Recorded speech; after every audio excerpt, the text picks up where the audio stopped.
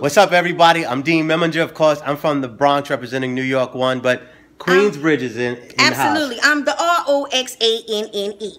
Oh, Roxanne Shante from Queensbridge, representing. I'm gonna have a lot more with her. I can't rap, can't rhyme, but Yes, I am a I'm a newsman. You from the So- Bronx. Uh, so, I got your story. Okay, cool. All right.